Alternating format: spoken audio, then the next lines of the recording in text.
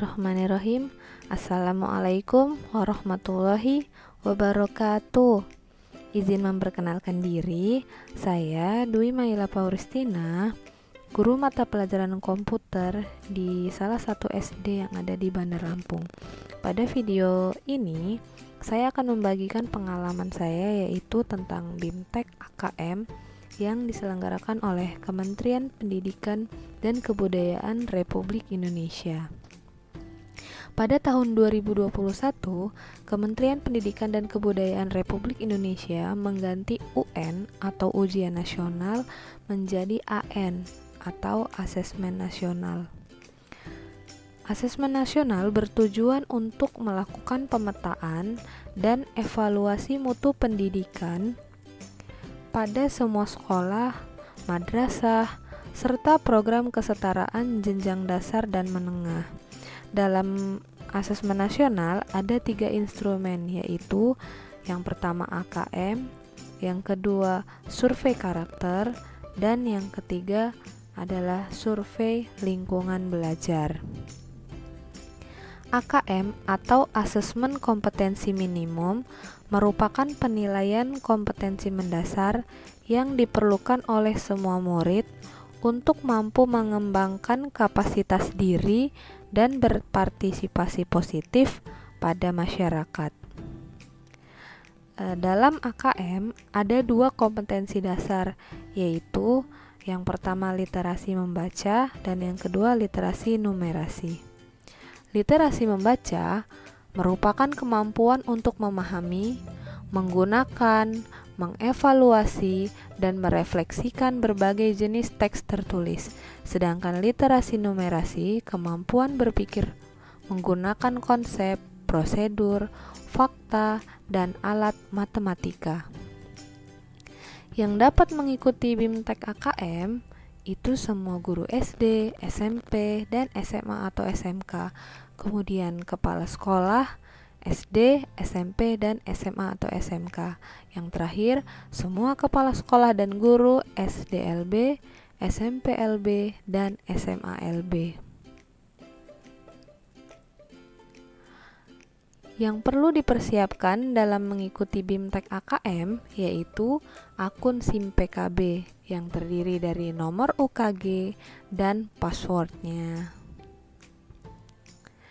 Nah, setelah ini saya akan memberitahukan tata cara mengikuti BIMTEK AKM. Simak terus ya. Ya, baik. Nah, langkah pertama kita buka terlebih dahulu browser bisa Google Chrome, Mozilla, dan lain sebagainya. Jika browsernya sudah terbuka, maka di kolom search kita ketik gtk.kemdikbud.go.id.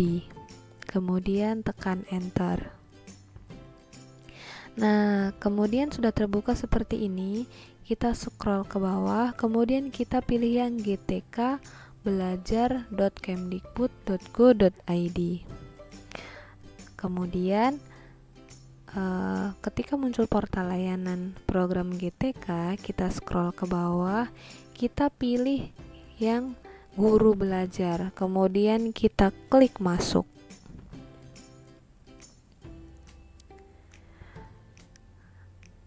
Nah, ini adalah laman program guru belajar. Nah, untuk masuknya kita harus menggunakan akun SIM PKB yaitu alamat surel yang terdiri dari nomor UKG, kemudian di belakangnya ditambah dengan @guruku.id.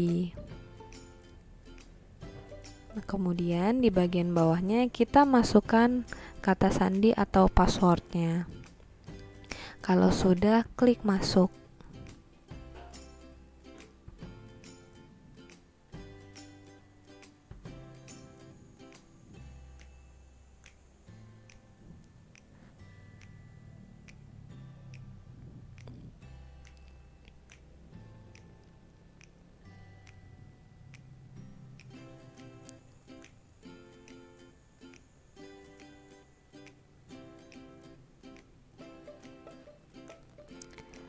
Nah, ini kita sudah berhasil login ya.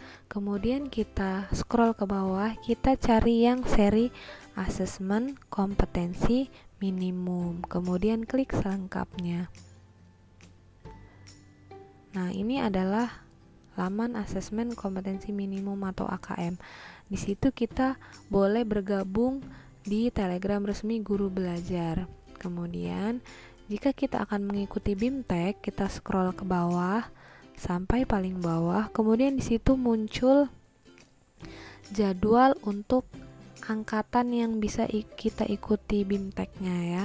Nah, di situ sudah tertulis sudah tuntas karena saya sudah mengikuti BIMTEK-nya di angkatan 1 yaitu tanggal Senin 4 Januari 2021 sampai Jumat 8 Januari 2021. Apabila sudah tuntas maka akan muncul 100%. Nah, jika kita belum mengikuti BIMTEK setelah kita memilih jadwal, maka akan muncul tampilan seperti berikut ini. Di sini ada penjelasan-penjelasan tentang AKM dan ada soal-soal yang harus kita kerjakan. Kemudian, uh, jika sudah selesai 100%, kita bisa mendapatkan sertifikat kegiatan ya. Kita cek di sini, kemudian bisa kita unduh. Nah, bagaimana mudah? bukan mengikuti BIMTEK AKM. Nah, tahapan yang kedua yang harus kita selesaikan yaitu membuat video pengimbasan. Kita bisa melakukannya dengan teman sejawat kita. Membuat video kemudian di-upload ke akun YouTube channel kita. Nah, demikian penjelasan tentang BIMTEK AKM. Eh, semoga bermanfaat. Terima kasih.